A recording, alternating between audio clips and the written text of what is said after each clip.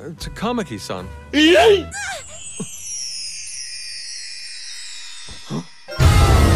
Bruh. Takamaki-san. Bruh.